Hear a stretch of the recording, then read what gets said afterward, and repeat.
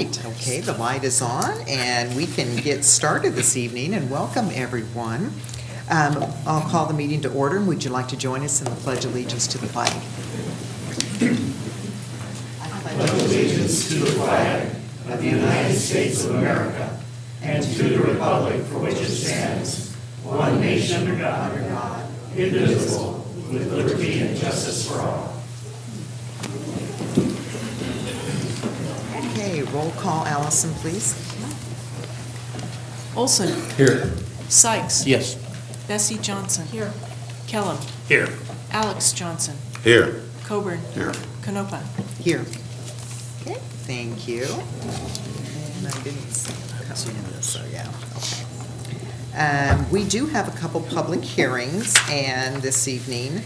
Um, And then also, we will have business from the public. I think there's probably some folks here that would like to speak on a couple of the items, which one would be about the um, um, city property that's at 401 Main.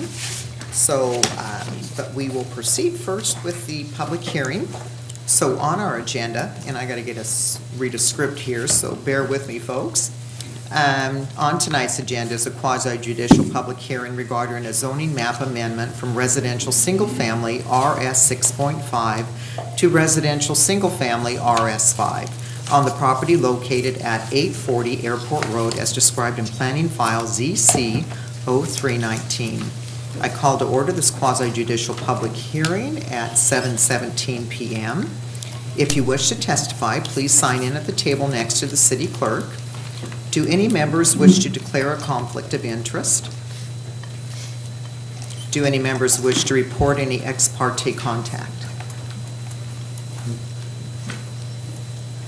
And do any members wish to report a site visit? I drove by, but I didn't really look at it. That's, I think, probably everybody. All right, and do any members wish to abstain from participating in the proceedings? Okay. Does anyone wish to challenge the participation of any council member in this hearing and decision? Okay.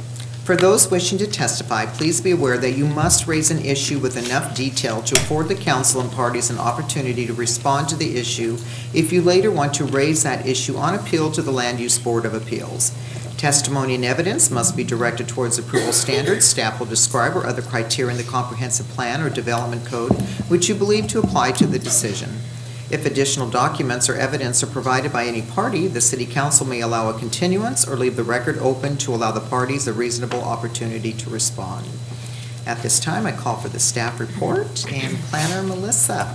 All right, thank you very much, Mayor and Council. Um, Tonight is a public hearing for a proposed rezone of a property.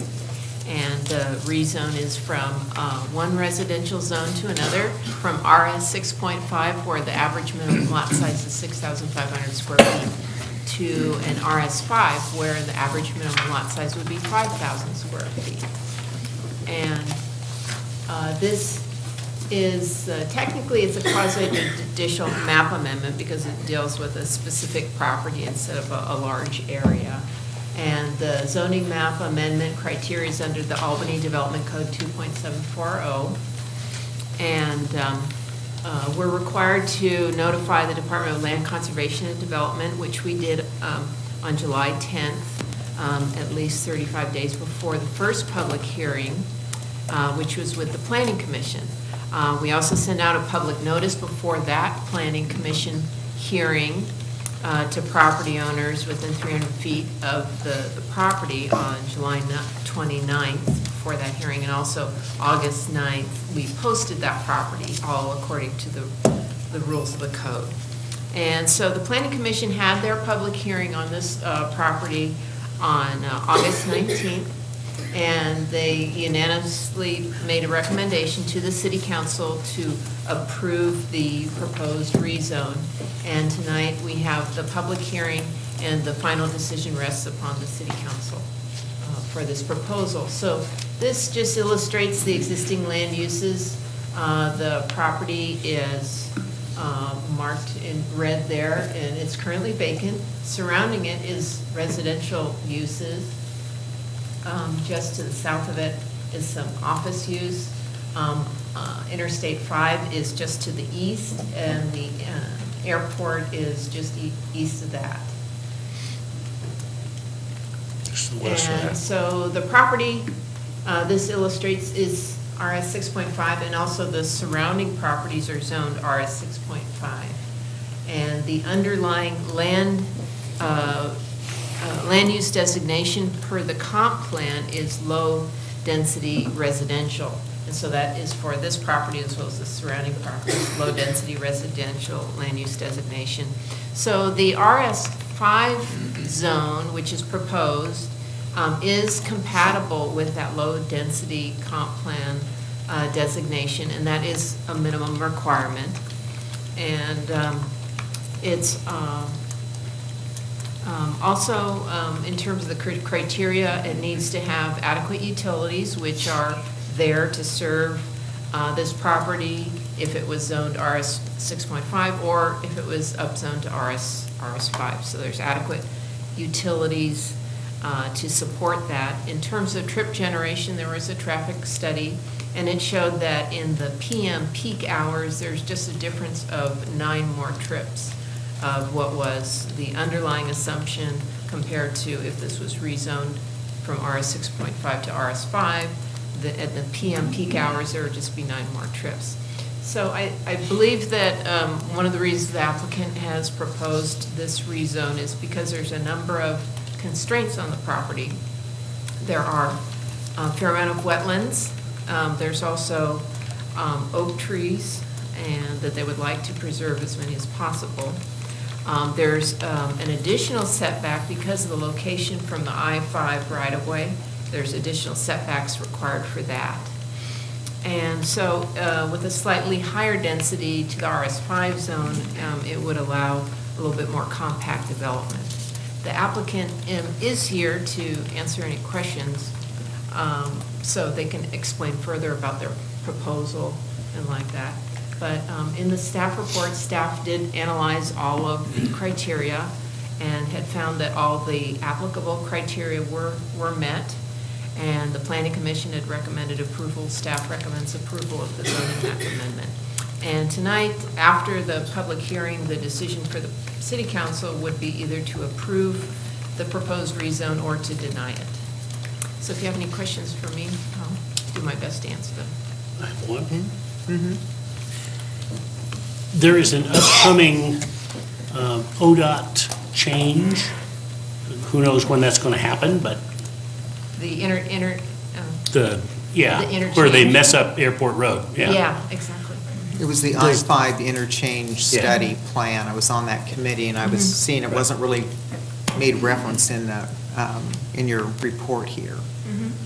My question is, is there, in fact, was that taken into account by whoever is dealing with it? Yes, well, we, we did notify um, ODOT of the proposal, and I think if there is to be a proposed development, um, that then it would take into consideration any access, if any, would be allowed, and- as well as right-of-way. Um, And there was no, uh, but at this time, there's no proposal to develop the land, so that's not under consideration, it's just the the zoning. And um, there was, from ODOT, there was no um, objection or, or comment or con- concern for the proposed rezone. So did you, did they send you what that study was? Because there was the, you know, proposed for kind of blocking off Airport Road, um, where it wasn't going to be accessing Santiam. So was, was the maps looked at to see where it would go along Airport Road? Sure, sure. I mean, we've been looking at this property in pre-applications, conferences, a number of times with different uh, proposals, and each time our transportation analyst, Ron Irish, is always very cognizant of that, and we communicate that. But that's more related to a specific development. Um, And um, in, in terms of, there, there is not necessarily a concern in terms of whether the average minimum lot size for the residential use is 5,000 square feet or 6,500 square feet, in terms of this, this proposal. Mhm. Okay, that answers mine, thank you. And then, um, and then you had noted in here that the TSP um, does include sidewalk improvements along airport roads. So that'll be taken up when they have their, bring in their site plan Oh, sure. um, to make sure that the sidewalks would be Oh, yeah. constructed. Yeah, then, then we kind of get down to the nitty gritty of Mhm. those kinds of things, frontage improvements, right-of-way dedications, things like that, a- as well as Mhm. uh, on-site improvements, infrastructure. Yeah. I've never liked this process because in the past, we used to do them together, zone change plus with the site plan. I know. So you could be able to see that site plan before you gave the zone change, but, yeah. I know, it, it, I understand it is frustrating, at the same time, we cannot condition um, a zone change on a development, and in the end, someone could present something, we grant the, the zone change with the, um, thinking that they're going to develop that, but then they could decide, you know, I just don't want to do that, the economy changes or whatever, and there's nothing to force them to pursue that, so it's kind of a catch-22. Um, Our, um, I know the, the developer in- intends to develop it, but until and, and- and, and when they actually submit something, we, and when it's approved and they actually break ground is when it's actually going to happen. Mm -hmm. Okay. More questions? I do. Yeah, Dick? We hear occasionally that they're thinking about putting another lane on the freeway. And is there enough room in the freeway right-of-way to add another lane without moving Airport Road over? Do we know that? I think that's, that's in the long-term plan, our, Well, um, yeah. I mean, if they're going to expand I-5, um, I don't think it's going to be going beyond the existing right-of-way that they have, which their right-of-way includes, um, I believe, the, the airport road, so. um, Detailed questions about transportation, I'm afraid I probably want to refer that to Ron Irish, our transportation analyst, because he's dealing with Well, that. it'd be a shame to have to move the road right up next to somebody's front window or whatever. Well, that does happen here and there. and Right.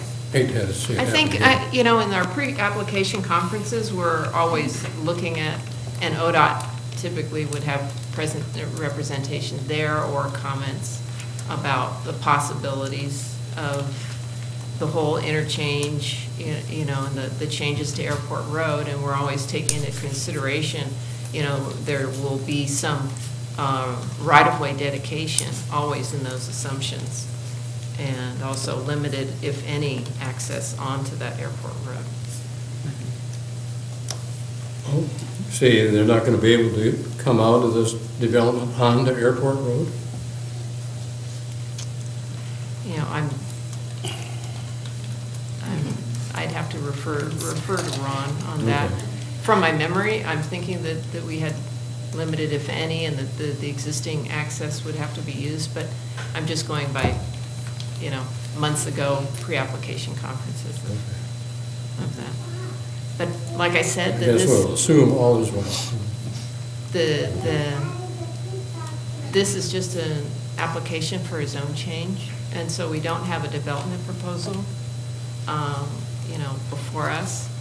And so if we, when and if we have the development proposal, then it's gonna be going through the whole, uh, land use process like we typically have, you know, likely to be site plan review, su- possibly subdivision like that.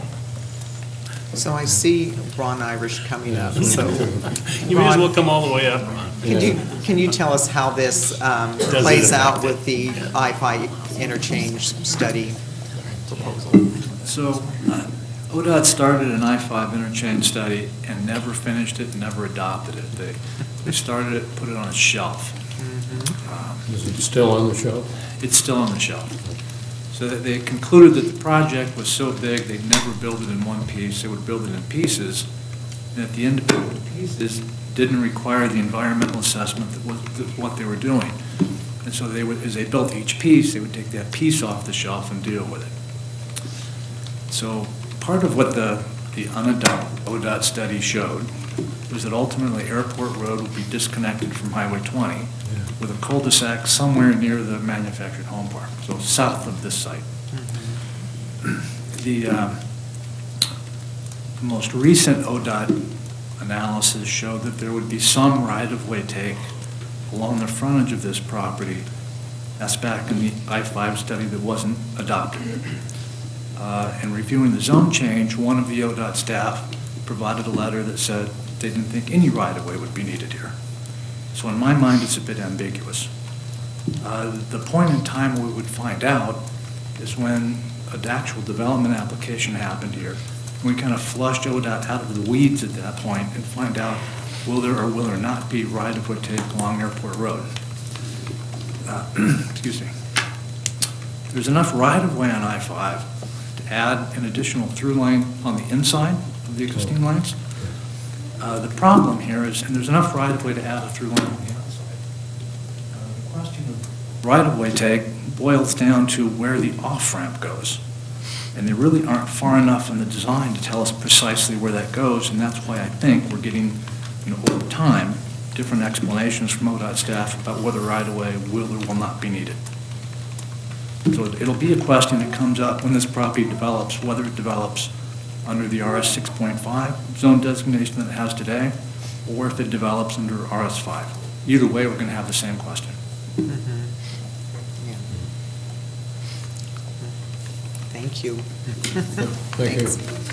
Refreshes my memory, because I do believe it was probably a good 10 years ago Yeah. When we did start that process, so, Yeah, yeah. and It seems strange to just cut Airport Road off here at the southern end. Yeah.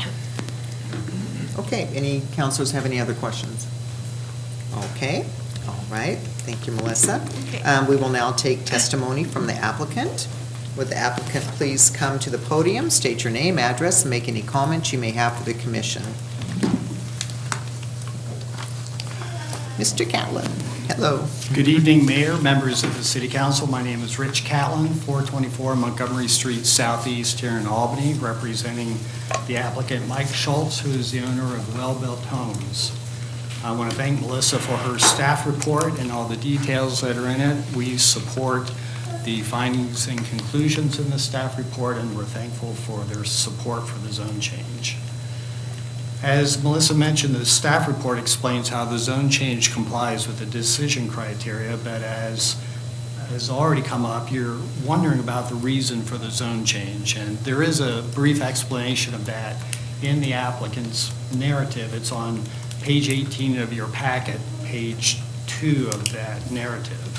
And Melissa uh, was right in saying that there are uh, substantial areas of wetlands on the property that's already been delineated. There are a lot of oak trees on the site that people are interested in protecting. And as she mentioned, there are noise corridor setbacks that affect the development potential of the site. Um, Melissa can correct me if I'm wrong, but I believe that's a 50-foot setback, and it's measured from the property line, so it's from the west edge. Yeah, okay. So when Mr. Schultz is ready to develop that property, whether it's under the current RS 6.5 or under the proposed RS 5, he'll have to comply with that 50-foot setback for any residence that's on the property.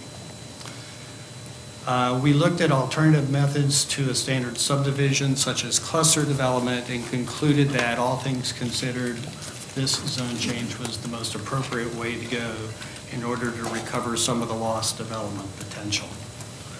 I will note um, that the property fronts on Franklin Avenue along the north. That's a local access residential street. And all of the discussions so far with city staff and with the neighbors have been that access would come off of Franklin. And whether or not that connects to Airport Road could be immaterial to the development of the site and whatever happens with the ODOT corridor. So all that to say, there's, there's not a site plan for, for you to review, there is ample street frontage along Franklin Road for this property to develop irrespective of the future of Airport Road. That's why we're asking you to decide the zone change simply on the merits of the RS5 zone. Um, A preliminary development plan was presented to uh, about 32 people at the April 29th neighborhood meeting. Uh, They had uh, a lot of comments about the plan, and those have been taken into account for revising the plan. Uh, And as soon as this zone change is approved, we'll be ready to submit that plan for uh, city review. Uh, They had concerns about the amount of traffic, improvements to Franklin Avenue, and what's going to happen to the trees. Uh, It's also important to remember that both the existing zone and the proposed zone are single-family zones. As Melissa said, the, we're not asking for a change to the uh, overarching comprehensive zone, uh, overarching comprehensive plan designation of single-family residential. The key difference, as she mentioned, is that there's a smaller lot size in RS5 that allows the owner to recapture some of the lots lost to wetlands, trees, and the noise setback.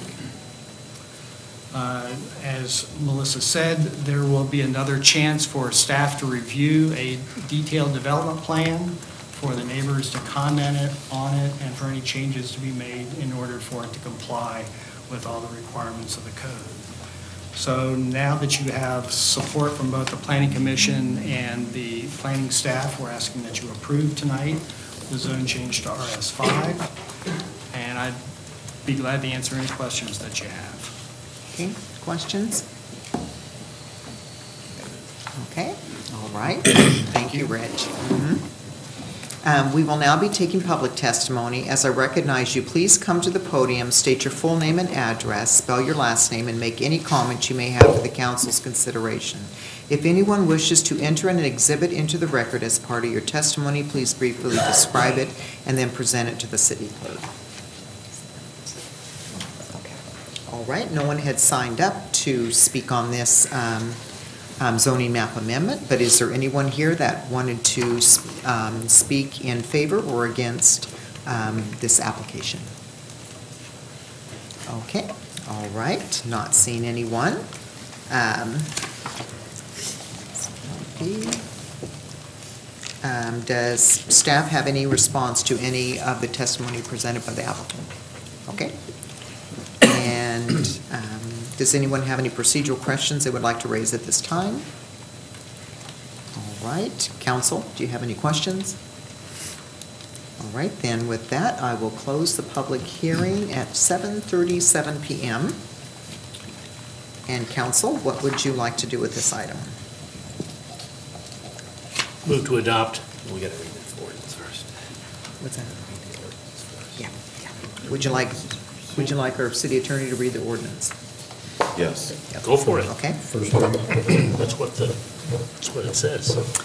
An ordinance amending ordinance number 4441, which adopted the City of Albany zoning map by amending the Albany zoning map and adopting findings for the property located at 840 Airport Road Southeast, Linn County Assessor's Map Number 11S-03W-09BB, tax lots 2700 and 2701. I move that the ordinance be read a second time in title only. Second. okay, all those in favor say aye. Aye. Opposed, same sign. Okay, second reading. An ordinance amending ordinance number 4441, which adopted the City of Albany zoning map by amending the Albany zoning map and adopting findings for the property located at 840 Airport Road Southeast, Linn County Assessor's Map Number 11S-03W-09BB, tax lots 2700 and 2701. Move to approve. Second. Okay, motion's been made and a second. Um, Is Rich and Al- Alex? Thank you. Yeah. mhm. Any questions, any comments? It wasn't Rich, it was me. No, you moved Oh, what- I was thinking for the second, it was the two of them on the second, but Mike made the motion. Yeah, okay. I thirded it. All right, any comments? All those in favor say aye. Aye, aye, aye, aye. Opposed, same sign. Motion carried. All right, okay, thank you. Thank you, Rich. Thank you, Melissa. Um, a qui- Let's see, also, a quasi judicial decision of the city council may be appealed to the Land Use Board of Appeals by filing a notice of intent to appeal not later than 21 days after the decision becomes final.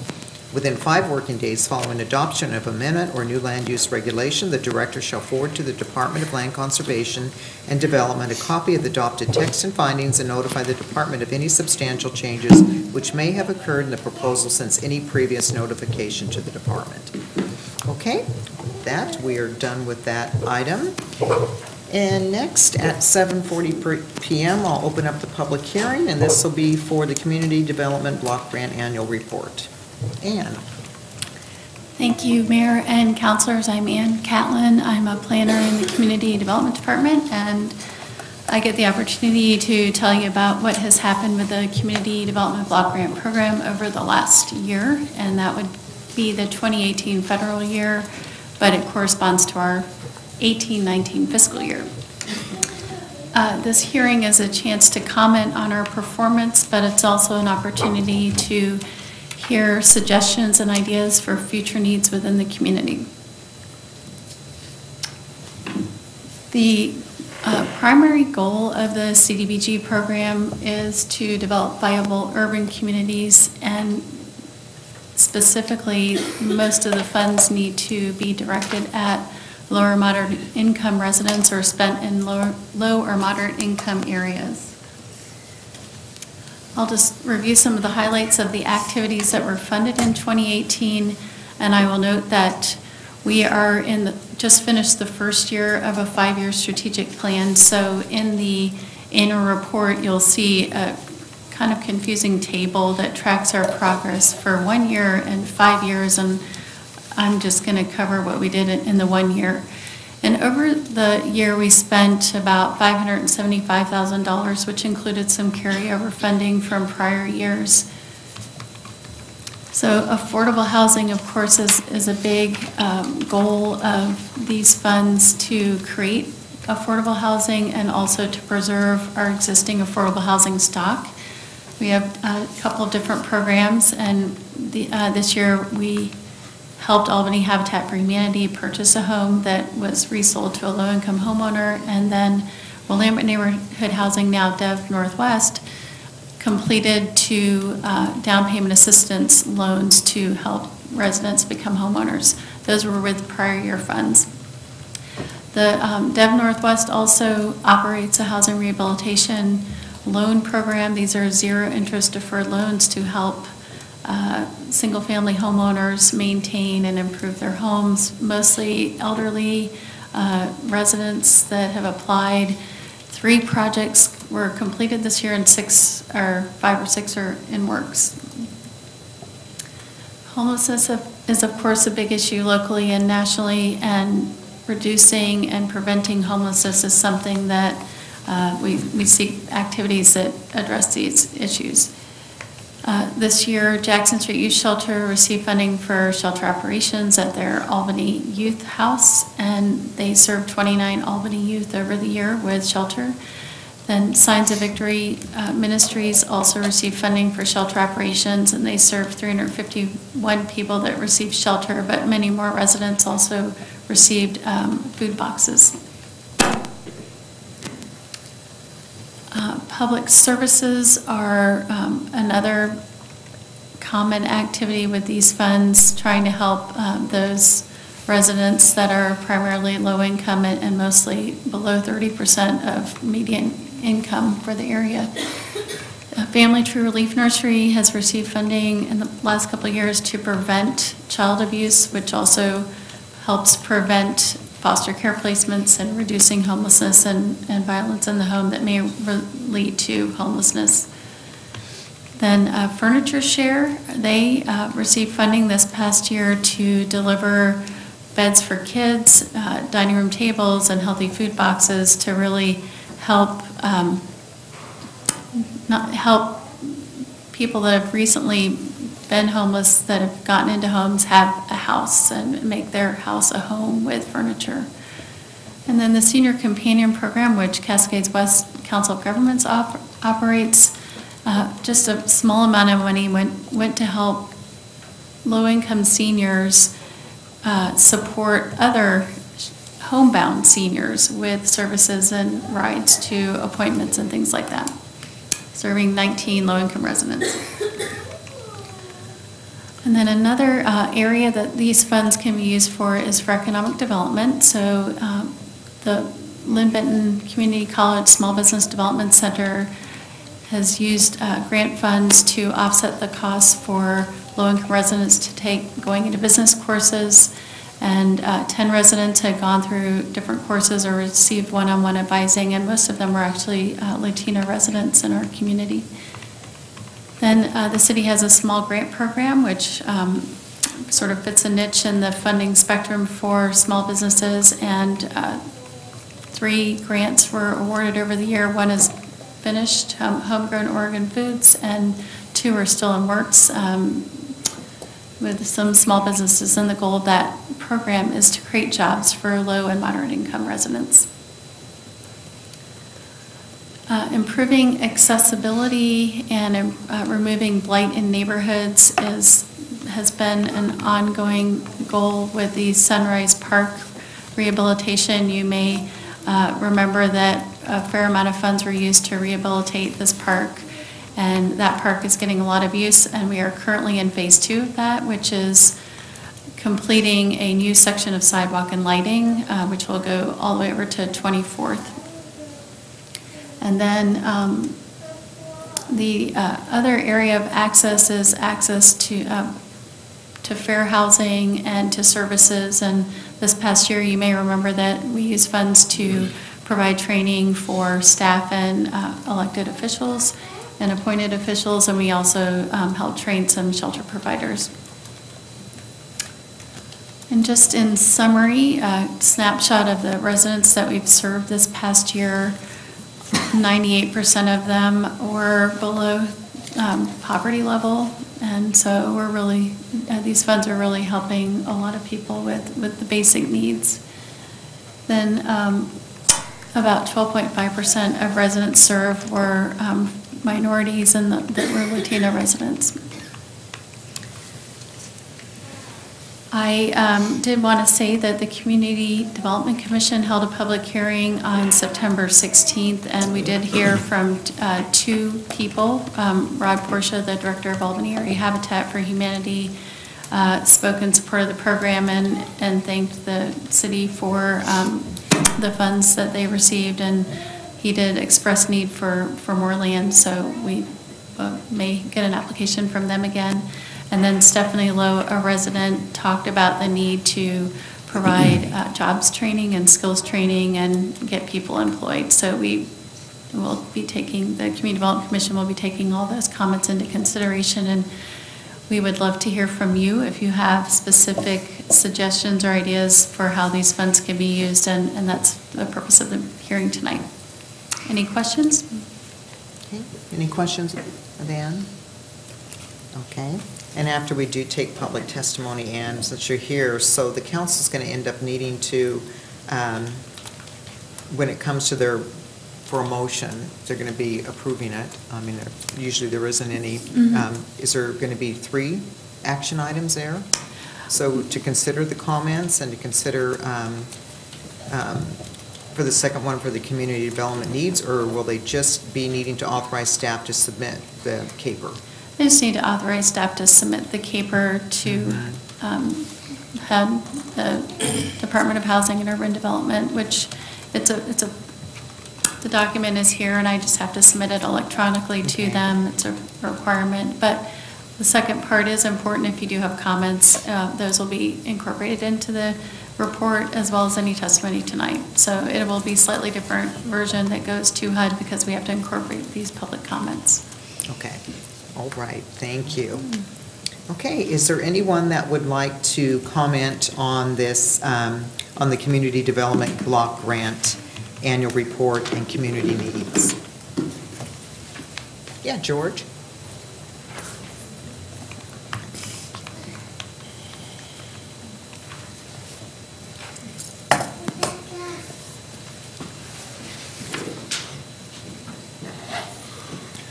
George Matlin. You need my address?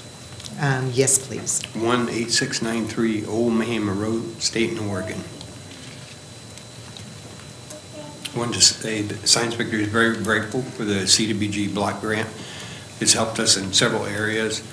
The 351 people that were on there were unduplicated new clients that were helped with the CDB funds. It's enabled us to provide balanced meals for the individuals staying at the shelter and people that are coming to get food boxes from us.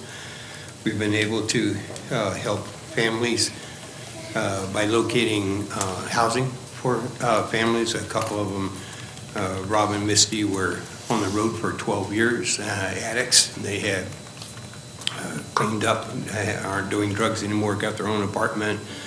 Another couple, Marcy and her husband and son, been on uh, addicts for years and years and years and got cleaned up and now have their own apartment. And we've been able to do it uh, by having the uh, funds to be able to help them pursue housing. So we just wanted to say thank you so much for the grant and for the help that you're providing to the low income. Okay, great. Any questions? Yeah, Questions? Thank you, George. Thank Thank you. you so much. Gail, I think you signed up too. Did you want to say a few words? My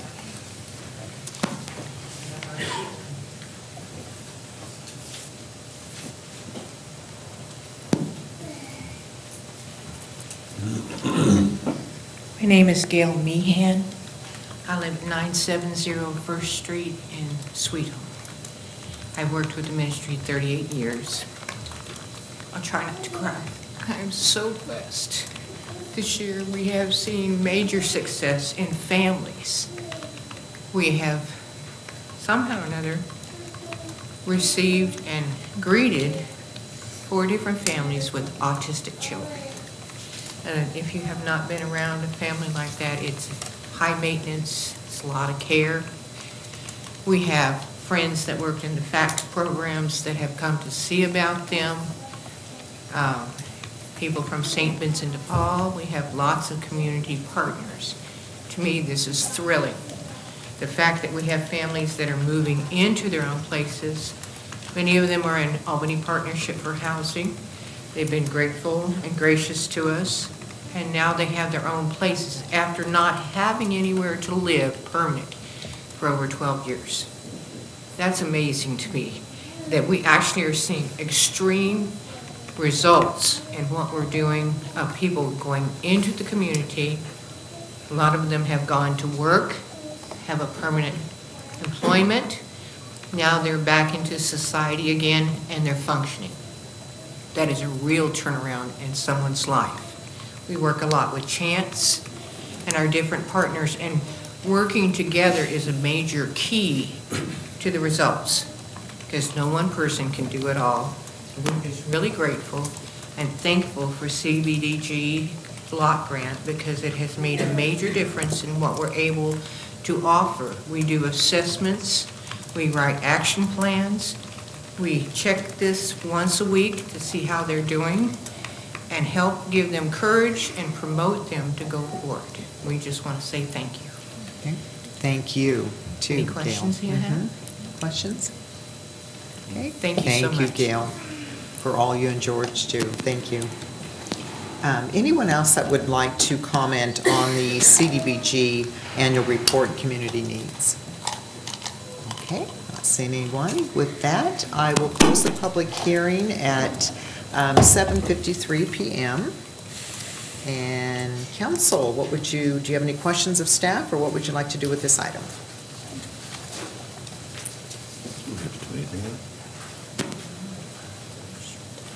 No questions. I have no questions. Okay. All right. Did you, would you like to authorize staff to submit the, the um, CAPER to HUD? Okay. Yeah, I'd like the the staff to authorize to submit the, to HUD, report to HUD. As a motion? Yeah, make a motion to submit the. Second. All right, second. All right. Any discussion? All those in favor say aye. Aye. Opposed, same sign. Okay, motion carried. All right. Thank you, Ann. Okay. Um, Next, just before business from the public, I'm going to slip in one little item here. And um, Chief Bradner, I think you, were you coming in late just to try to divert any sort of um, a few words for you this evening. Didn't work, did Would it? Would you like to come forward, please? Thought he was slick. Nice try. We see you.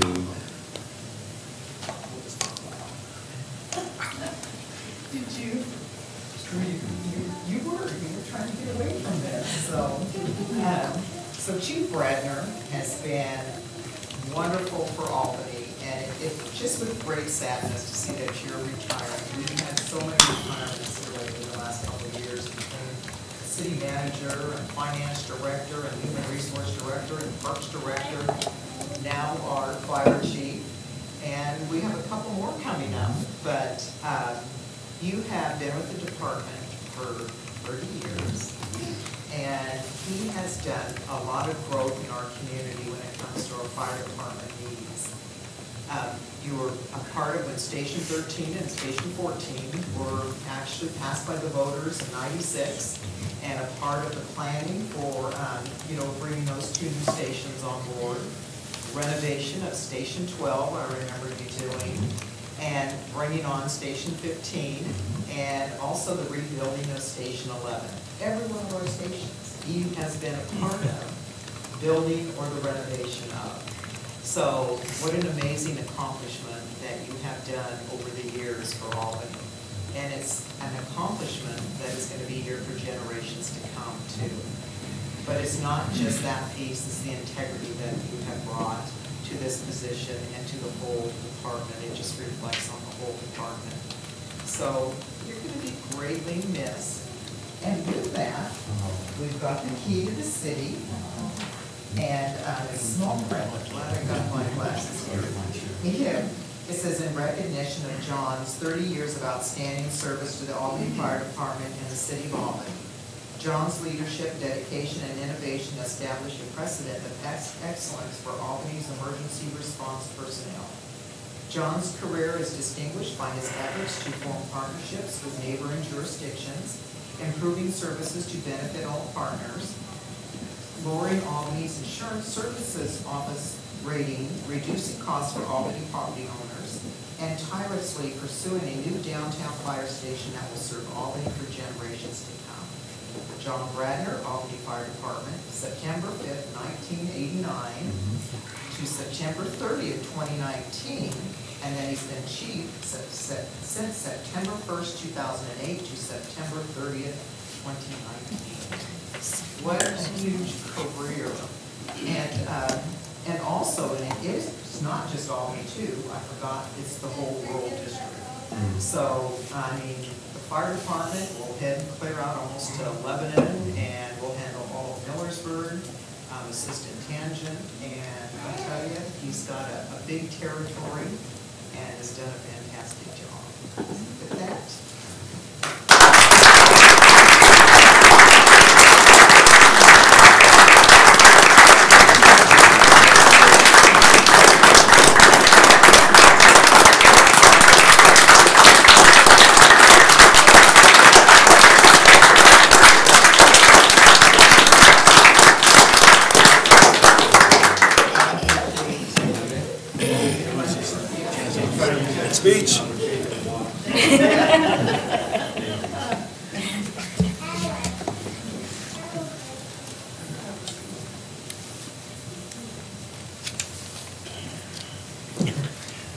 little bit worried when I didn't see him in the back of the room before the meeting started and thought, oh, is he going to be showing up tonight? So, He always shows up at Kiwanis 14 seconds before it's time. yeah, so, smart, so thank you again, Chief, so. Okay, uh, next is business from the public, and is there anyone here that would like to bring an item forward to the council? Okay. Anyone from the church? Okay. Uh, Can I All ask a right. question here? Yeah, uh-huh. We're going to be considering, uh, what's, what's it labeled? uh, 401 Main Street Southeast. Mayor, Right. we had, public going to be um, able to comment on that? Um, This would be the opportunity to to comment it on, on it now. Mayor, we had Yeah. um, previously discussed having them present, uh, they have a short presentation that you Oh, have. during that item, okay. Right, so I'll give a Okay. staff report and then, and Okay. then if I that's didn't okay know, with you. So that'll work. Yes, So- sorry about that. Okay, yeah. And anyone else from business from the public? Okay, with that, we will move on to item five, which is the staff report for the city property at 401 Main.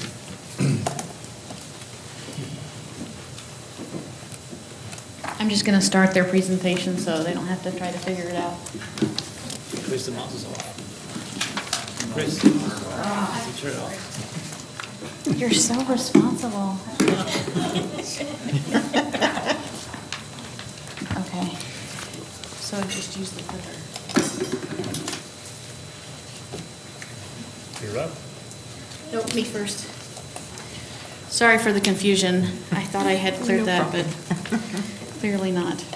Um, So, thank you, Mayor. So um, you have a memo in your packet regarding the property, and of course, we've talked about it a few times over the last several years. Um, I'd like to hit just a few highlights um, before the group gives their presentation. So, um, very brief history, the property was purchased about 20 years ago because in the transportation system plan at the time, Santiam Avenue was to be realigned with Fourth in a future road project. When it came time to design that road project, they found that the existing sweeping right turn was the best alignment, and so the property was therefore not needed as uh, street right-of-way. So at that time, we started discussing with council options, and I'd like to just highlight a few of the things we've done to try to figure out what to do with this property. Um, While the uh, street project was active, we had funds in the project to either move or demolish the building depending what happened, we didn't know at the time. And um, there was quite a bit of outcry about de- demolishing the building. So we uh, publicly asked for anyone who was interested to use the building, we would pay to move it to their property, and then they could have the building. Um, Several people came by, but no one found that the, the um, building would make a viable project for whatever reason, um, for their uh, needs. Uh, We had Parks and Rec look at the property, and our Economic Development Director at the time um, no uh, options really spoke to them, mostly because of the amount of money needed for the property, and Parks obviously is limited funding, so uh, nothing happened there. We issued two RFPs for the sale and use of the, of the property, neither of which panned out. And we've also had uh, several, not several, a handful of people come forward with ideas of what to do with the, the property as it sits. And none of those uh, worked out either, mostly because parking at the existing site is extremely limited. So we've made a lot of efforts to try to figure out what to do with this property, and, um, and there, there it is. Um, Last year was the last time we were here discussing the property, and at that time, it- the mayor had just um, convened an an ad hoc work group that discussed at some length what to do here. And the recommendation was to move the church to uh, city property right down the road and have it um, be used for community and parks programming. However, the council did not direct staff to go to work on that um, because of funding concerns. Um, And at the same time, a local group came together that wanted to try to raise the funds needed to implement that plan. So the council um, gave a little leeway for them to formalize and start doing their fundraising, and they're here tonight to sh- share with you their progress. Um, Currently, the street fund pays for everything to do with the property. Um, The monthly utility bills are pretty low. However, there's significant deferred maintenance, and at some point in the near future, that's going to be um, expensive, and we need to figure out what to do, because the street fund, as you know, has far more demands than it has resources right now. Um, So at this point, I think I'll turn it over to the group here, and they have a short presentation. You should have copies of their slides, and I'll turn over to Terry.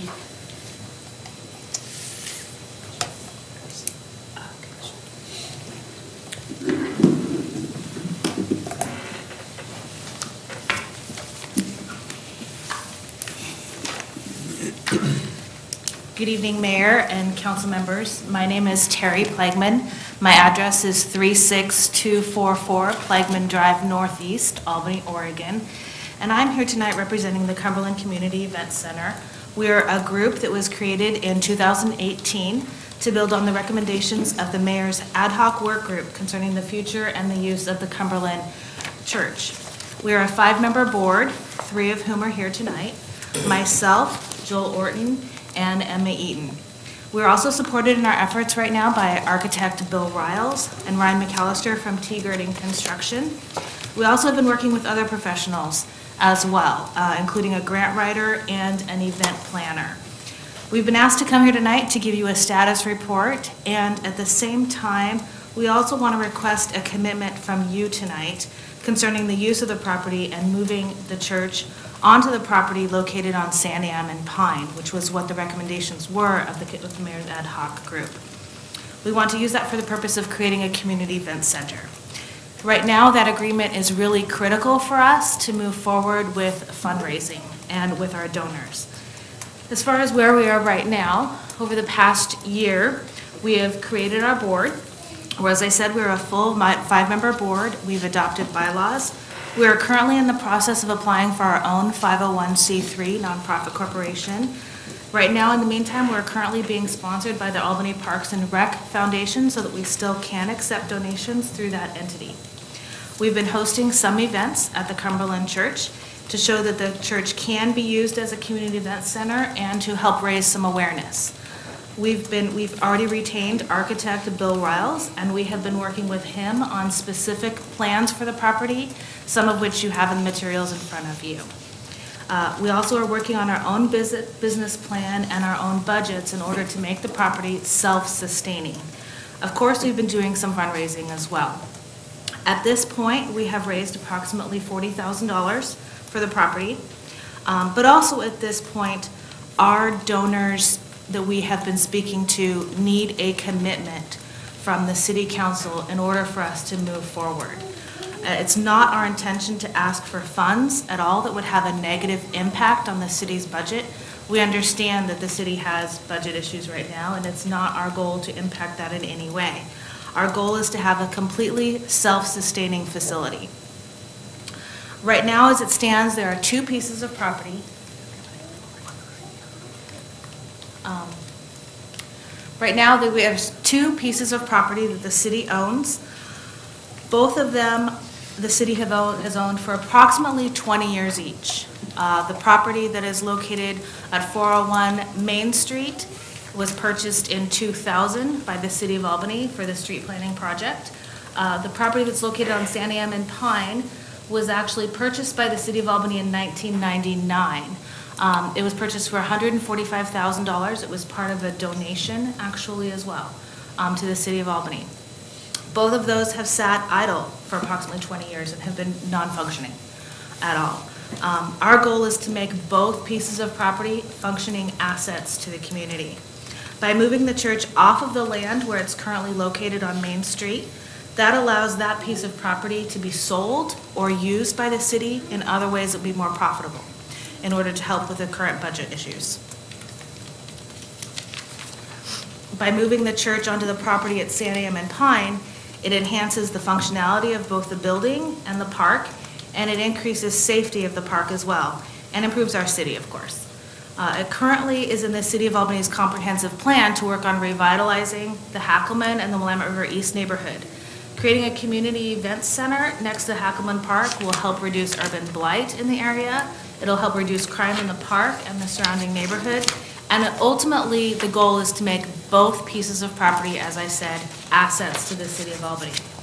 Again, I want to stress, our plan is not to cost you any money at all. Our efforts are to move the church, to restore it, and to manage it afterwards. All of the budgets that we are preparing actually include all of those costs, all of the maintenance costs that are looming ahead over the next five years. The ad hoc work group studied this previously, as was stated by Ms. Bailey, and determined that the property located on Santiam and Pine really is the only viable option uh, to move the church to in order to have a community asset going forward. Um, And we did also prepare some additional information for you to show um, where it sits right now, and it's just uh, the property where we want to move it towards. Uh, That property is located, again, it's right next to the skate park on Santiam and Pine. Um, And by moving it to that location, we'll be able to have use of the park, of Hackleman Park as well. And it will, again, like I said, it would be able to be a functioning asset for both pieces of property. It would enhance Hackleman Park as well. We have some, or already some diagrams. Some of these things were started to be developed by the ad hoc work group, and then we've been building on those efforts over the past year. Um, This has a a diagram of what the over overall view of the property would look like. Uh, There is some information there on the park that, that is not really necessarily part of our plan, but those were just some additional ideas.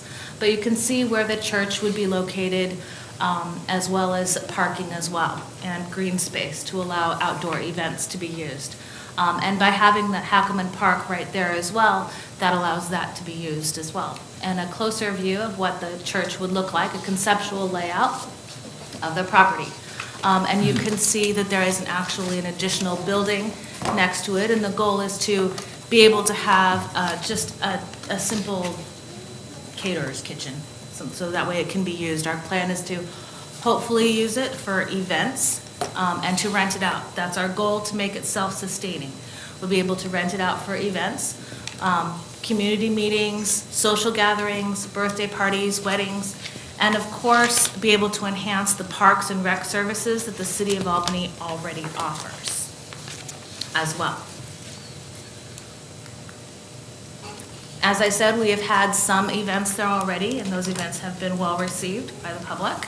Um, However, our use is limited right now, based on the condition of the building and um, the facilities that it has currently. And so we really would like to move forward with getting it moved, with having a long-term place to be able to move it to, so that that way we can move forward with our efforts and host, host additional events. We have started to develop a timeline as well. As I said, we're already in the process of obtaining our 501c3 status. Uh, We have a different attorney that's on board with us, one who worked, um, has worked with ever- several other projects in Albany as well, worked with the Carousel Project. We're working with him as well in order to create a 501c3. That's already in process. Um, As I said, our goal is that we do need a um, commitment from the city in order for us to be able to move forward. We want to move the church, as I said, onto that property. We've been working with Emmert International. Um, That's the same company that some of you may be familiar with that moved the board Borden Bass Barn and Tangent um, as well. So they're very familiar with having to move buildings with, and with working with the city of Albany as well. Um, But the important piece that we first need is a commitment from the city of Albany concerning the building and the use of the property on Santiam and Pine. Um, You and as council members are in a unique position to help with this endeavor by making a commitment to allow us to continue to use the building and to move forward with our efforts so that it can become a community asset, not just for Albany citizens right now, but for generations in the future. And we're all here to answer questions if you have any. Okay, thank you, Terry. And questions? Council have any? When do you think your uh, 501c will be established or finalized? I actually spoke with the attorney's office twice, actually, this week, and I spoke to them earlier today. Uh, They're finishing up the application materials. There's a few additional information that they need. Uh, We have to, they have, we're scheduling a board training for the board members coming up in October, and the application will be submitted to the IRS right after that. So hopefully, the goal is to have that completed by the first of the year or around the first of the year. Uh, Right now, as I said, we're already sponsored with the Parks, with the Albany Parks and Rec Foundation. We have a sponsorship through them, so that that way people can donate right now already through that foundation.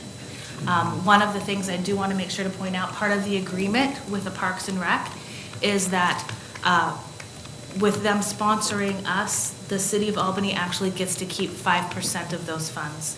So we have uh, pledges of $40,000, but we have $30,000 that already has been received, and the city of Albany has received that 5%. So we are actually contributing to the use of the property as well. Well, or is it the Parks and Rec Foundation The that Parks keeps the Rec. found, the 5%? That's right, that's Parks Yeah. and Rec, yes, yes, Yeah. I'm sorry, Mhm. yes. Okay, other questions?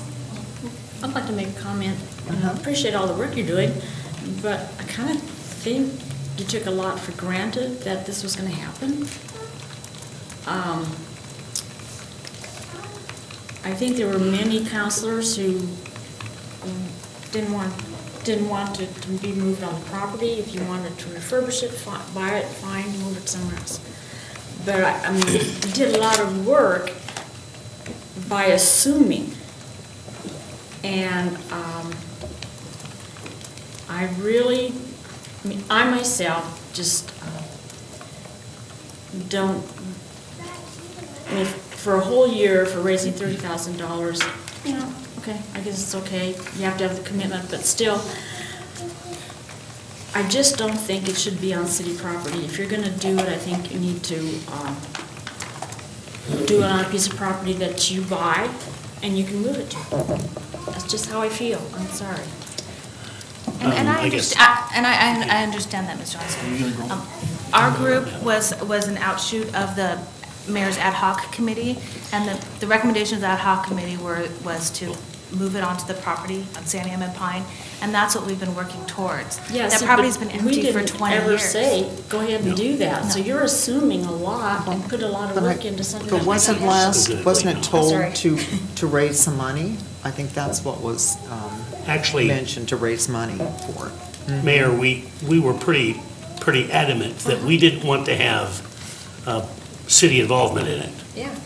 And part of that city involvement, depending on who was talking at the time, was uh, we don't want to have it go on city property. Um, I want to buy the property, even at a bargain basement deal, okay, fine. Um, Or at least that portion that the, that the um, building sits on. Um, I don't have a problem with that. I guess I, I want to make sure that we could in fact, uh, depending on how it's set up, um, part of it was a donation to the city, and what the codicils on that donation were. Uh, Do we have the right to sell it? Do we have the right to use it for anything except what they said? And I don't know what it was that they said. Um, And is there, And I think that's Someone is something stand- yeah. to refer to. I we haven't met yet. Um, Kim Lyddane, Park and Rec Director. And Can somebody find the lady a chair down there? Oh, no. Kim. Okay, I can- go ahead. Thank We have a whole bunch of chairs here. Sorry. So that's something that we can definitely look into. Um, The deed is, is taking a look at it and making sure that the appropriate use that it was designated for recreation community involvement still meets the same. Um, I know that's a conversation that I'm willing to have um, with the, with the grantors. Um, It would just be under direction of council and the mayor to, to explore that area. But that would be something, we've had good conversation about um, the zero amount of maintenance or support we would be able to provide, should it move to that area. Um, And so that would be the next logical. It was also pretty clear that we didn't want to spend any money in the interim. And we find out that in fact, it wasn't a lot of money, but it was in fact money that we were spending right along, um, providing gas and electric and whatever else. Well, Councilor, um, uh, honestly, we've, you know, we've owned that building for 20 years, and, you know, it was previously rented to a small congregation for a tiny amount of money, and the city has always been responsible for the utilities. Well, So. it doesn't make any difference what it was in the past. It was the fact that when the council was talking about it, we set down some parameters. Um, Now, the parameters are not set in stone, but the bottom line is, we, I think things have to be negotiated. I would be unwilling to give uh, property for somebody's um, parking lot. I mean, you know, if there is a shared parking lot, great, fine. Uh, You want to put a parking lot in and then it's a public parking lot, okay. I don't know if there's a whole lot of parking that needs to happen other than to Hackleman Park, but um, I wouldn't want to see a thing that happened where uh, we donate the property and you folks put in a parking lot and then say, no, this is a private parking lot, when um, it was city property that was donated. I mean, that things like that need to be worked out. Uh, The portion, you want the building? As far as I'm concerned, it's yours. Um, You know, a dollar, and I'll give you the dollar, I think is what I said before. Um, But uh, moving it, um, I mean, the fact that you're stepping up for the movement and, and the maintenance and all that, that's, I think, what needs to happen. Anybody else has something to say? Wow. If if I could just interject, this, this proposed location is pretty critical. Uh, The work that the uh, ad hoc work group had done before, they explored a number of different alternative locations. This one was identified because it's so close to the existing location, very little uh, interruption of utility lines and that kind of thing to get it moved the 500 or so feet. And so that's, that's why we have really focused on this property. And also, we had heard that there might be con- conditions upon, you know, that uh, the property, the funds for the property were donated with certain conditions that it be used for public purposes. So it seemed like a perfect fit. So Sean, would this be a, ta- a tax lot for the city? Will it be a tax? Yeah, will it, will it bring revenue to the city as far as No, taxes? If if it's a nonprofit that they're receiving, then it wouldn't, we wouldn't be getting property taxes on it. I just want to make sure I understood that. Unless they're renting it out. If it, if it's for profit, then, if they're I mean, if renting it you- out, then you that have could- could violate enough their income 501. That you're, that you're making, making a profit. Nonprofits make a profit all the time. Right. I mean, nonprofit is, is a function of how you're set up with the IRS, not whether or not you make a profit. Um, Almost every nonprofit wants to make a profit. Every business wants to make a profit. But a nonprofit can still rent out something and still be a nonprofit. But all the Yeah. money has to be going back to the nonprofit. Right. Um, So if, It's same situation with a church, and if, if you are renting it out at, at rates, you end up having to do tax work. Um, If you're renting it for a for-profit, if you rent it out to a nonprofit, you don't have to. It's for for-profit.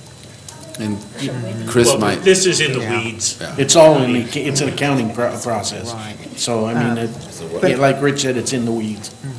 But refresh my memory, I- the last time that we discussed this topic, um, I thought council gave direction, they didn't want any money spent on the church, but it was for them to raise the money. Yes, Mayor. Right. I, so I Yeah. looked up the Ask last, question. um, the minutes from the last time we were here because, you know, I couldn't quite remember either. And there was a motion to direct staff to try to find private property that would take the building. And that has, once again, been unsuccessful. Um, But there was also discussion that it would be okay, there was not a motion, but there was discussion from the council that it would be fine to let this group try to see if they could raise the money, because we were discussing um, the ad hoc group's recommendations of moving the church. And there was a lot of back and forth about how that would be paid for, and it would need to be moved before any real work could be done to it, because, um, you know, just the, the size of the lot and the uh, um, condition of the building. So the, the group at the time was just, I think, four people who were starting to come together with a concept. And so the council did say they would be okay, although there was not a motion, um, with giving them time to start putting themselves together. So then after that, we wrote a little, um, basically a little memorandum of understanding that they could use the building, and I coordinate with them pretty closely about what's happening and what they can and can't do. So that's how it, this has been going along. The council direction was, if you want to move the church, that's fine, but the city is not going to pay for that. And I don't remember hearing not one penny of city money should be paid for the maintenance of the church. Otherwise, I probably would have um, asked some questions about ongoing utilities, because we, we only pay for power and gas, and honestly, if we turn the power off, the building, that would be probably detrimental to the safety of that, that lot, so that, that's. Could I ask how, uh, is the money still there that was allocated to take care of the building that you mentioned at the start of your uh, comments earlier? No, that was programmed as part of the capital project for the street project, because at the Yes. time when they, we funded the project, we thought the building would have to be knocked down. Right. And so there was money there for that purpose, and then when the council discussed moving it instead, then we, um, I think I put an article in the paper and put news releases out. Marilyn's nodding, so I'm feeling good about this, that we were asking people to contact me if they wanted the building, we would pay to move it. And so that's, as I said, I had a few people, but no, no takers. But that money's gone. When the capital project finished, you know, that money goes back to the street fund, whatever's left over from that project. So, no, there's not designated money to move the building anymore. But I appreciate your comments to the effect that this, the council said at the time, we don't want to have anything to do with the moving of the church. And I thought, my impression was that they felt that the location on city property, uh, park property, and that, uh, that that would be okay if uh, the, somebody else took the responsibility of getting it moved over there. And now, the- is that kind of what the proposal is tonight? That- that is what our you- proposal is. You're going to be able to uh, figure out how to get the building Yeah. over to the park. Yes, that's exactly what our proposal is. So We- it seems to we're me, that's what we asked you to do, and here you come saying you're gonna be able to do it. And now, are we gonna bring up new requirements and say, oh, we're gonna have to do this, that, and the other thing? It seems like you're moving the goalposts. If you're, if you're pointing that at me, what I'm saying is, there were a number of people who said it should be on property other than this. Oh, I don't recall. I'm saying at this point. I don't remember that. I do. Others do. Um, We didn't put it down on paper. No? I don't And think at was this any point, motion. I think what we need to do is decide what we want to do. Well, From my, from my perspective, um, a very cheap price, as long as we can, as long as we have the right to do it, a very cheap price for the, the space underneath the church is fine for me.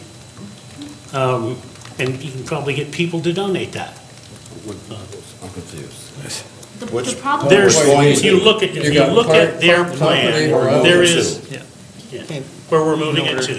If you look at their plan, there's a place for the church, and then there's a much larger area of, of that, that has to do with, um, yeah, that is part of the park that at this what point, you're- or is one part or of it- our property at this point, and there's parking on it, and there's other things on it.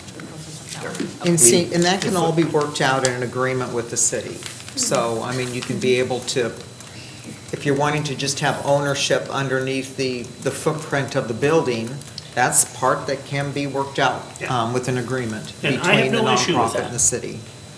As on long that. as, as long as we come to an agreement, so we have enough people to say, yep, that works for me, I don't have a problem with it. No. I don't want to have, I want these folks who have a passion for this to be the ones in charge of it, go running down the road. I don't want the city to be the ones who sit there and, oh gee, we need something, you know. I mean, they have a passion for it. People with a passion for it do a heck of a lot better job from people whose job it is. That's just the way life is. I mean, you know, Well, um, Bill has his. Uh, Well, I think Mike did first. Did you, Mike? I, I'm, I'm very, very patient, but, um, here's the, if we. You're a Marine. We won't go there. If we can sell the church to this group, when they have their 501c or whatever, their nonprofit established, we can sell the building to them. That way it comes off the city re- uh, Registration, yeah. they're responsible for the upkeep and everything else of the building at that point. Okay? Then we have no, no liability for it. Sell it to them, like what Rich said, for a dollar, and I'll give them the dollar. Oh, they'll make a dollar profit. That's right, it's two bucks now. And then on the city property that's already there that they intend to move it to or want to move it to, or was a rec- recommendation of the ad hoc building, is we, we find a reasonable price to sell that land to them also.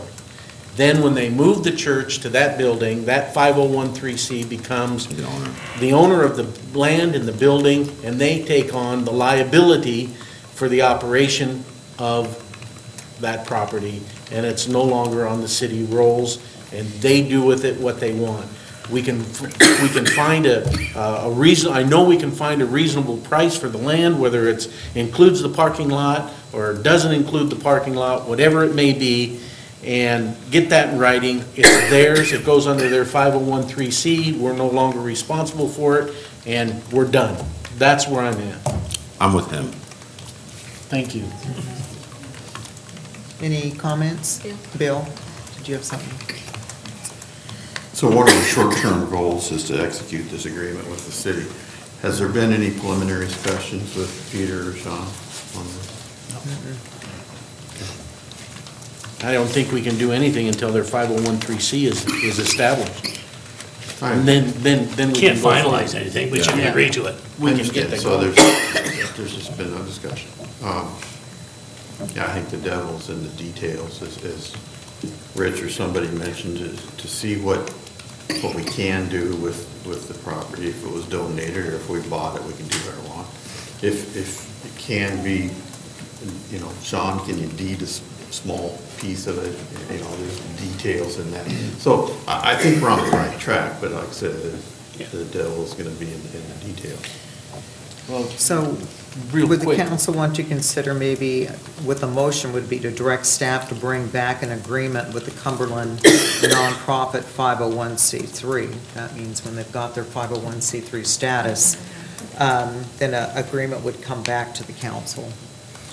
So I like what Rich mentioned about the parking lot and the, the building, the ground underneath the building, maybe two options to see what both of them would look like.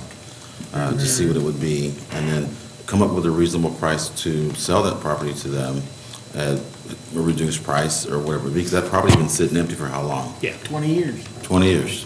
The, the property, yeah, it's been there for 20 years. which you should also take into consideration when selling it is, um, we have been deferring any maintenance on it. We should have been take, doing maintenance on this building the past 20 years. The condition is going to cost more to renovate it because of our neglect for the past 20 I'm, I'm talking about the property, uh, I'm talking about proposed property for it to be moved to. Right. So, But I think when it comes, when it comes down for you figuring out a price down the road, that should be taken into consideration. We're Well, I not- think, I for think the we're building, talking we're about not the charging price of the anything. vacant lot over there that we want to move it. Right, Dick. But I'm saying that should be taken into consideration when we get to that, is really, we deferred maintenance on this for 20 years, and it's going to cost more to renovate it Yeah, because I of don't our think, I don't neglect. think we need to get into that. So. But it's been there for Those 20 fine years. details at this Someone point. could have I'm, come I'm up ju- I'm then. just making a point. I The know it. condition today is part of our responsibility. And I don't, I don't disagree with you, and I don't think Rich is joking when he says sell it to them for a dollar. Yeah. Mm-hmm. They can have the church, I mean, you can't get a better price than that. So you're talking about the building, or you're talking about the chunk of property? The The building, building for a buck. for a buck. Building for a buck. I- And then the I'll throw a property dollar in. reasonable. I got some quarters in my ass. I don't think the city I'm, needs I'm to make talking any about money. The, the property, when we set a price tag for the property. take They don't that wanna into buy the consideration. property. So, Yeah, that's my. They don't wanna buy the property the church sits on. They just. No, not the church. no, we're talking about the Well, property. you just said Property we're on talking the- about the weeds. building, so now I'm. the property on Pine, yeah. The property by Hackleman District is the Right. property that I'm talking And about. and you're talking about the square footage of the church that it sits on, is that correct? Or. What about the square footage that or it sits on? That A property little ways somebody around already it, wants. whatever, so it's usable. Mm-hmm. So we would maintain the property. They'd have the church. No. I No, think once the church is moved, we can sell that We'll be property. bringing Yeah. back an Once, agreement. once they have it, it's theirs, they do the maintenance, they do the everything. On the building. On the building and, once So- they have the, the property, the, the property underneath it at the The new new property. location, it's their baby. We're not, when they have, when it's moved. Yeah. So may I That's s- what- There's a lot of details to an agreement that needs to be worked out. May I suggest then that you task us with bringing back an agreement that allows for the transfer of the property to, the, the building to the nonprofit, which would leave the existing property on which it sits for sale by the city. Correct.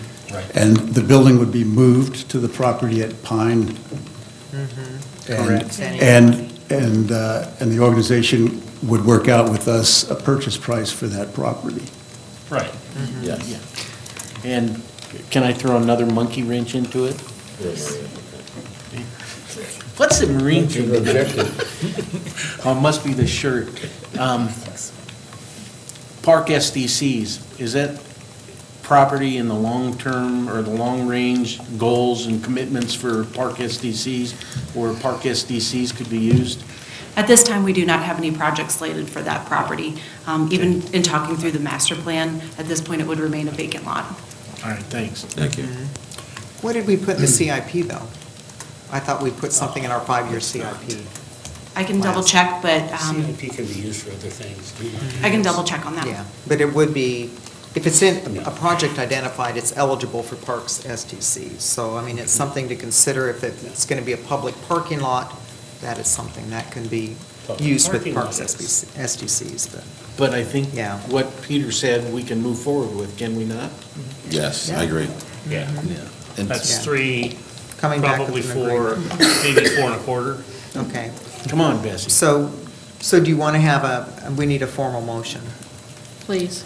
I'd like to make a motion that the staff work with the Cumberland, Sabre Cumberland Church group to come up with a plan for the moving of the property, purchase of the. is right? Purchase of the property. Purchase of the property and transfer the church to the Cumberland, is that correct? Yes. Perfect, let's do that. Transfer Yep, that's. to Pine. And just so I can be, I can clarify for me and Terry, because I I don't know if me and Terry will be working on this, or the, your attorney who's doing the 501. Probably not. Said the intent is that the, that the city will sell the church for a dollar, then the city will also sell the property that the church is going to be moved to, and we'll negotiate a price for that, and that, that's how we're gonna work this. Right, And I wanna make perfect, sure, right.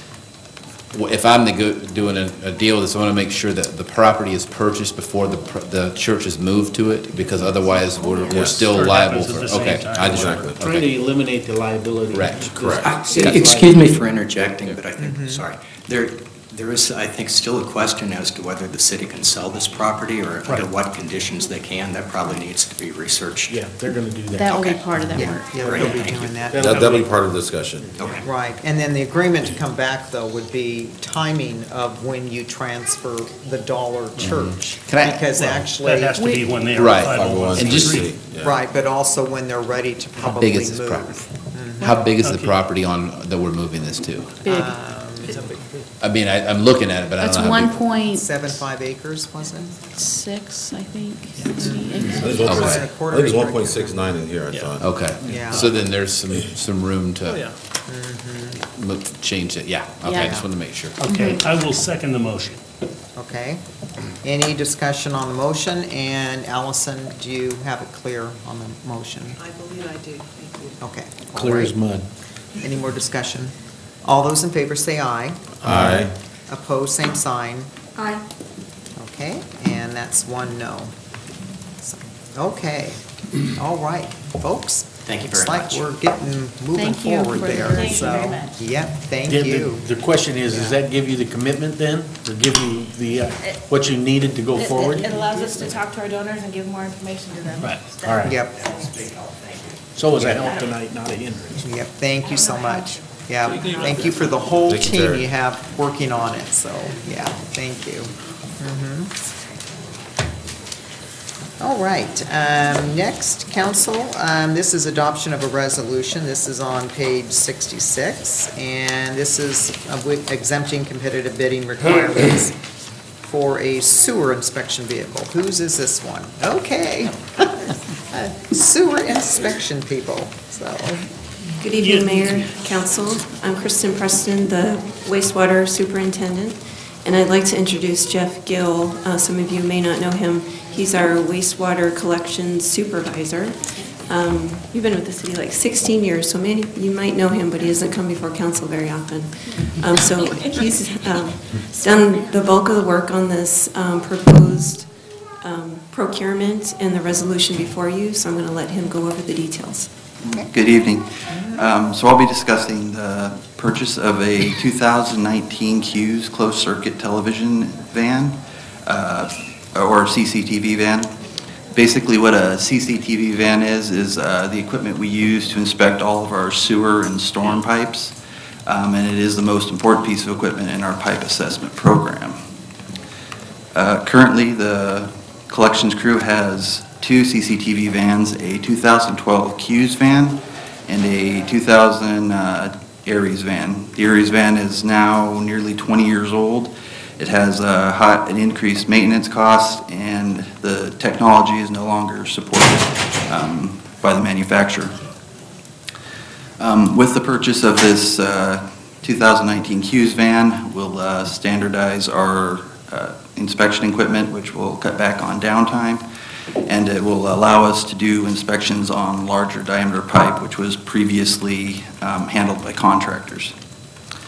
Um, The method, uh, the method we'd like to use to pay for this is the Houston Galveston Area Council of Government, or HGAC. Um, This is so that we get the very best price for this equipment. Um, The overall price for this equipment is $2,000 $224,038. Uh, We're going to uh, pay for it with a combination of the wastewater collection equipment replacement fund and the stormwater equipment replacement fund. Uh, We estimate we'll have, uh, once we send the Aries van to surplus, we'll get about $12,000 for that. And we've done some other estimates on savings once we purchase the van, um, and that's between 100,000 to 140,000 each biennium, because we will no longer be uh, using contractors for our large diameter inspections and maintenance. Um, Staff recommends council approve the resolution and exemption for competitive bidding for the purchase of the new CUES CCTV van through an existing cooperative contract with HGAC and declare the existing van as surplus equipment. At this time, are there any questions? Yes. Yep, Rich? Is there any organization that also sells this stuff besides going through the Houston folks? Well, as far as if you were to work directly with the dealer, there's maybe a dozen throughout the entire world, and there's only maybe two of them stationed out of the United States, the rest are all out of Germany. And this is real specialized equipment, so you can't get it from local, local dealers. Um, The Aries van, uh, is that different equipment, different equipment than the CUES van? Is it, um, is the running through the pipes different equipment, or is it different uh, brand name?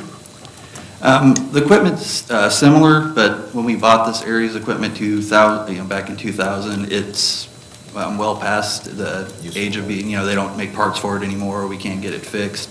Um, So we, it's just more of a, a more modern version of that old equipment. Our other van is a a CUES van, and it takes a certain type of software to um, look at the, the video and analyze it and produce the report. So we'd like to have the same type of equipment on both pieces of, of of I vans. understand. Thank you. Okay, yep, Bill? And if I understand it, HGAC went through the, excuse me, the competitive bid process, correct?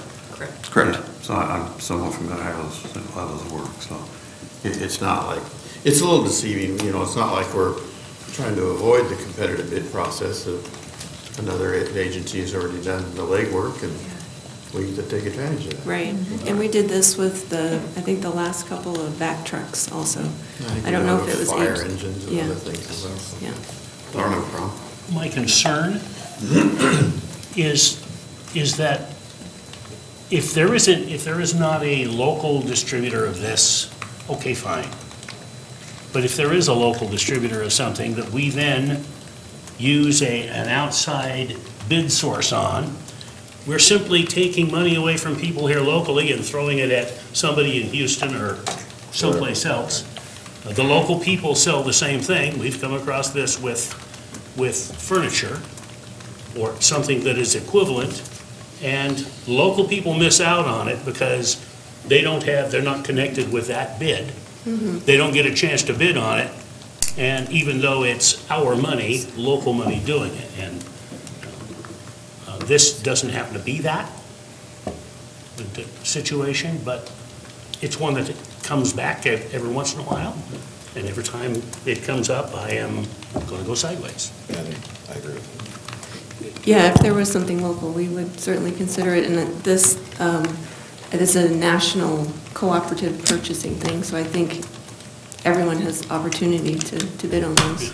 Hey, Kristen, is the, co- the contract for the purchasing is through Hughes, uh, through uh, Houston Galveston, but the purchasing is from somebody in, in here locally, right? It's like, uh, com- isn't it Springfield? Well, no, Keys is out of Portland, but Portland, yeah. locally to Oregon, yes. Yeah, it's local to Oregon, the purchasing, yeah. Well, Portland's better than Houston, but it's not much better than Houston. Yeah, but at least it's within the That's an same. opinion. Well, look at, actually, it looks like they're out of Florida. They probably have an office in Portland. Yeah, they have a local office in Portland, but yeah, I think it's out of Florida. Yeah. Yeah. Okay, thank you. Okay. All right, there's a resolution on page 68. I would move for the adoption of the resolution. Second. Okay, any more discussion? All those in favor say aye. Aye. Aye. Opposed, same sign. Okay, motion carried. Thank you. Thank you for your time and you. consideration. Yeah, Thank you. Nice seeing you. Okay, next, Chief, you've got an item here, your last one, your last council meeting, and it's awarding of a contract. Correct. Well, for one last time, excuse me, Good evening, Mayor and Council. Uh, I'll make this short and sweet. The uh, the memo basically sums it up and says it all. Uh, We did a RFP process to um, try and select a new vendor to provide emergency vehicle fleet maintenance. Uh, We went through that process. The results are um, on page 74 of that selection process. We had two um, qualified bidders that bid on that, and we would tonight like uh, your approval to go ahead and award the contract to Hughes Fire Equipment out of, uh, their base offices out of Springfield, but as you can see from the memo, uh, they're located throughout the Northwest and in other places as well. Uh, With that, I'd be happy to answer any questions. They said there was an Albany location? There is, yes. They, they started leasing our space, our shop out behind Station 13 that's been vacant. I mean, we've been using it for storage, but it hasn't been used as a shop for the last number of years. And they started, oh, six months ago, probably, roughly. using it. Sounds like a, a win-win. It is, most definitely. That way we're not taking something to Corvallis or someplace else, using the time getting it there and the fuel and the energy and the effort and et cetera. So use that So Are we renting that shop for other stuff? Well, Say that again? Are we renting that shop to them? Is that? what Yes, we're doing? we are.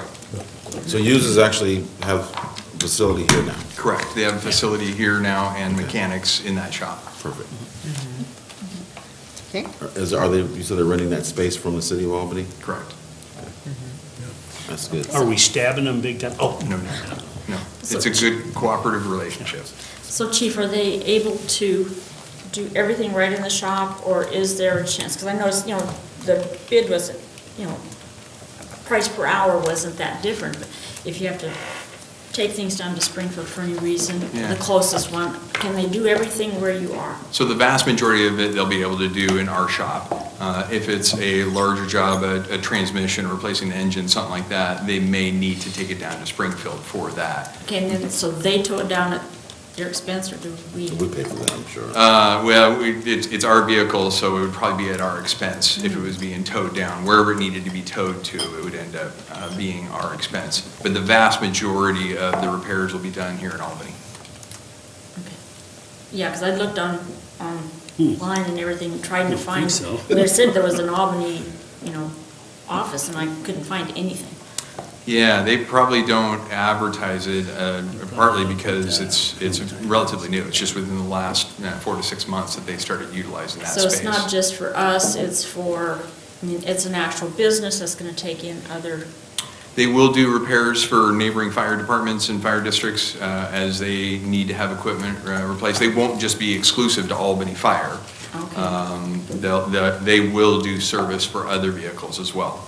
Uh, Fortunately, we don't have enough business to keep them busy all the time. Yeah, well, that was, yeah, that's where I was kind of going, you know, like, okay, are they an actual business where they do, like, private people, private uh, automobiles or private No, trucks? no. No. They just specialize in emer- All- emergency equipment, emergency Okay. vehicles.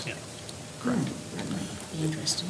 Is this gonna provoke a logistics problem in your, in that facility as far as the, the storage of vehicles and things like that? Yeah. No, uh, through our agreement that we entered with them, they have a set amount of space that they can take up, and we negotiated that, so it wouldn't interfere with our operations. That's what I'm, that's my concern. Thank you. Yep. Thank you. Okay. All right, there's a resolution on page 73. Will we adopt the resolution on page 73. Second. Okay, any more discussion? No, That's good. All those in Thank you. favor say aye. Aye. Opposed, same sign. Okay, motion carried. Thank you, Chief. You bet. Thanks, Chief. Thanks, Yep, You your bet. And last I just want to say item, thank yeah. you for the council support of the fire department uh, throughout my 30 years. I really do appreciate it. Well, we're really Thank you. grateful for the service that your team has provided, so. It's thank been you. fun to support the fire department. Good, Yeah. good, I'm glad to hear that. Just kind of keep in touch. Okay, We know do. where you live. Yep, Travel. exactly. Thank you. Thank you. Thank you. Okay, um, next is adoption of the consent calendar. There's only a few items on there. If there isn't any items needing to be removed this evening, I'll entertain a motion. I, I have a concern about the first, uh, August fourteenth minutes. Okay? You It want that says pulled? down on adoption of resolutions, uh, this might need to be corrected. Coburn moved to adopt the resolution and Coburn seconded it on both of those. Very efficient. So that's great job, Bill. Appreciate it. Yeah, So I don't know. Somebody else did that. yeah, Both on one and two. Yeah, both and one and two. okay. So they can make, make note of those corrections on that. Okay, anything else? That's all I saw. Okay. Motion, Move to approve. Move to approve. With the corrections. With, yeah, with corrections. Second. okay. All those in favor say aye. Aye. Opposed, same sign. Motion carried. All right, on the back page is business from the council. Bessie, anything this evening? No, not tonight. Okay, Bill? Nothing, thank you. Dick? Um, I was talking to one of my constituents, and they uh, said, um, are we to welcome the uh, river keepers uh, next time they come down the river, want to stop at Albany, or are we going to say, why don't you just keep on going? I wonder what the council feels about that. You know, we have an accidental spillage of a very small, I think, small amount of sewage. They don't even know about it until I read about it in the paper, and then they, are they still gonna sue us, do we know? We're, we actually have a meeting with them scheduled, uh. October 9th. October 9th up in Portland, so we'll, um. So we're reporting back. So, yeah, we're gonna be negotiating with them and discussing it with their attorneys up Okay. in Portland. So, nothing's been filed, though. Well, I know you're supposed to try and keep your enemies close, but uh, I've never been very good at that, as you all know. So, uh, yeah, I'd like to tell them to just keep on going. They're gonna Well, want- there, they're there gonna is, to, to your point, uh, there is the feeling that, you know, if they're going to do this, you know, why should we smile at them? I mean, they're doing it just to get money. It's not like, you know, it's not like we tried to do something, and when we found out there was a problem, we got right after fixing it right away. I mean, it was because the water came up and knocked the end of the pipe that it happened to begin with. So, Off my dollar. And it's not like we haven't been trying to do the best we can with new sewage disposal plants. Of course, it didn't work, but um, uh, we did our gardens. And um, talking water gardens, they're trying to get the water, not only clean, but cool. It didn't work quite as we hoped. Our our attorneys are aware of all the efforts that the city has made over time to Yeah. comply and work towards the same goal that they're working for, which is clean water. Yeah. So I would ask, just, just let us uh, meet with them on the 9th, come back to you and debrief you, and we can decide from there. Okay. All right. So, I- I'd like to express that I'm not very happy. And when they ask me for money, I'm gonna write back and say, take me off your list, I'm tired of it. Anything else, Dick? No. Okay, Rich? I do. The other day, I stopped by uh, the location on Scravel Hill that we went to Luba over, uh, the now chicken farm. Um, People that are there, it's not going to be a chicken farm going to Foster Farms.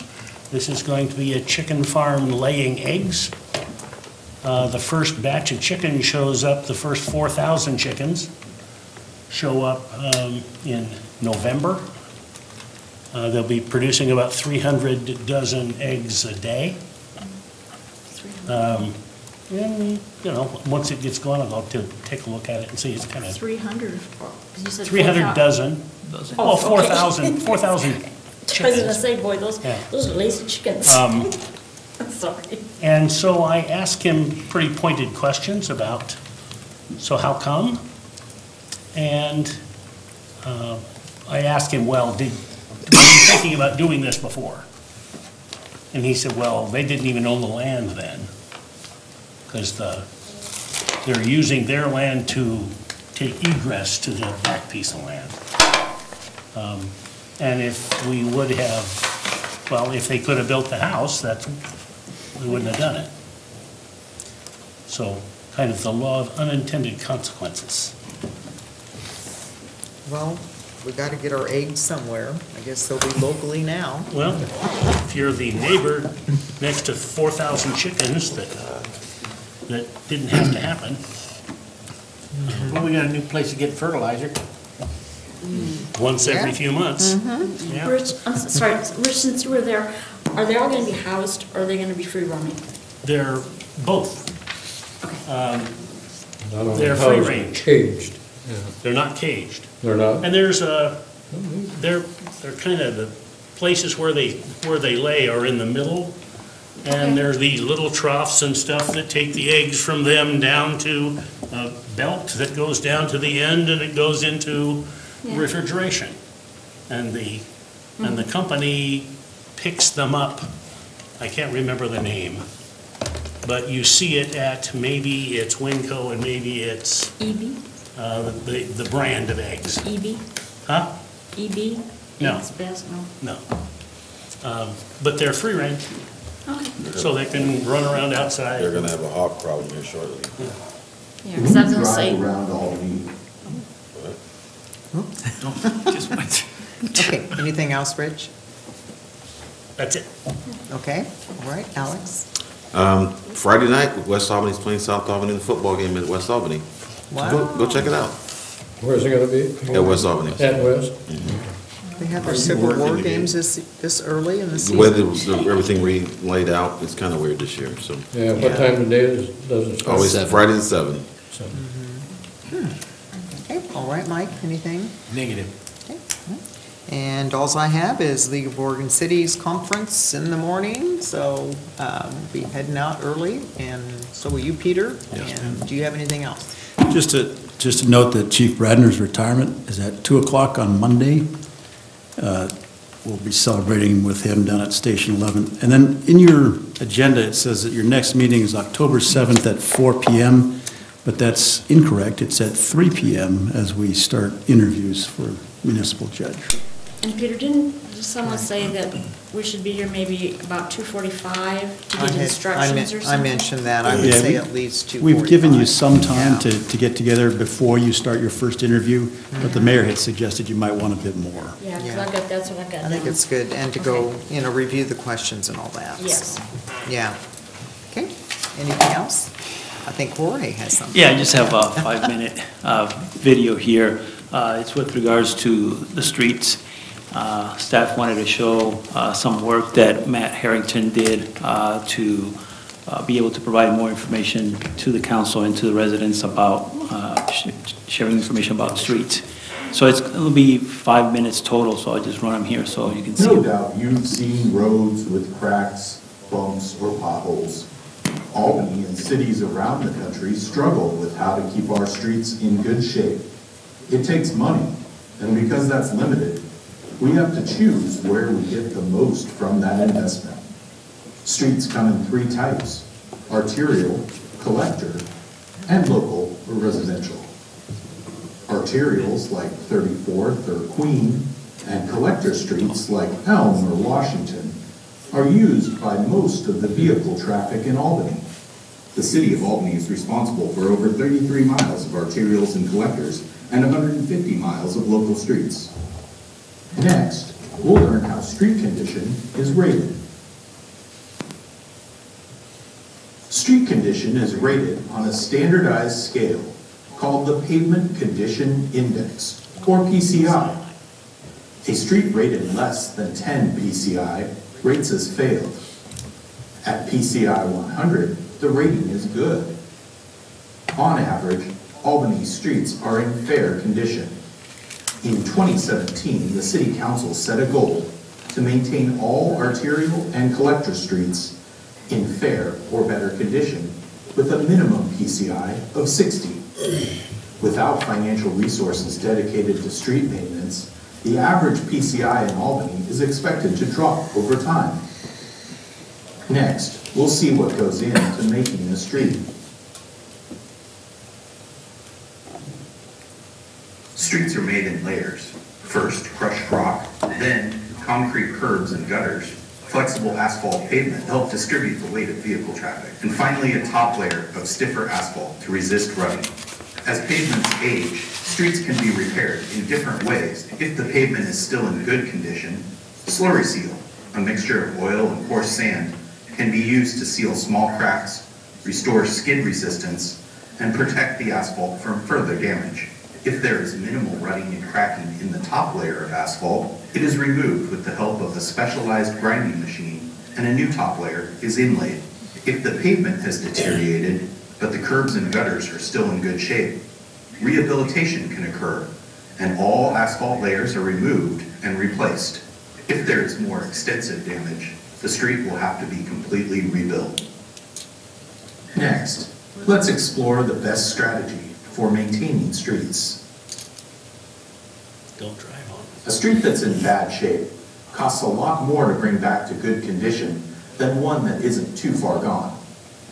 A smart maintenance strategy is to renovate or renew roads in small increments every eight to 10 years.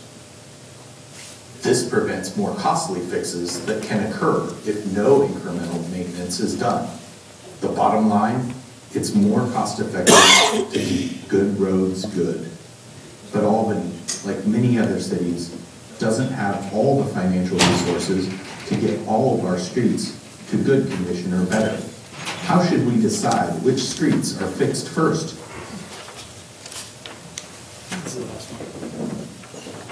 Streets are vital to our economy, especially arterials and collectors.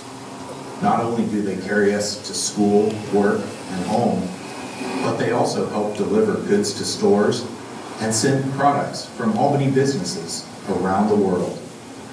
The 33 miles of arterials and collectors that the city is responsible for are some of our most vital assets. While everyone would love to have the street where they live be at the top of the repair list, it makes sense to concentrate first on these arterials and collectors that keep Albany in business.